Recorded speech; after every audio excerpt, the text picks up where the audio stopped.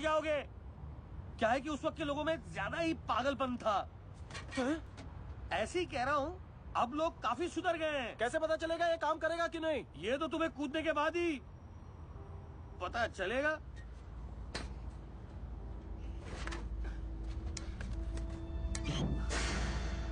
वो वाकई खुशकिस्मत होगा जो उसे तुम जैसा दोस्त मिला। आखिरी सवाल मेरे अलावा किसी को क्यों याद नहीं कि के कौन है?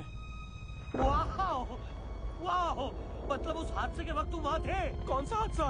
अगर बच गए तो आकर मुझे सारी कहानी बताना ठीक है? अरे बता के तो जा मैं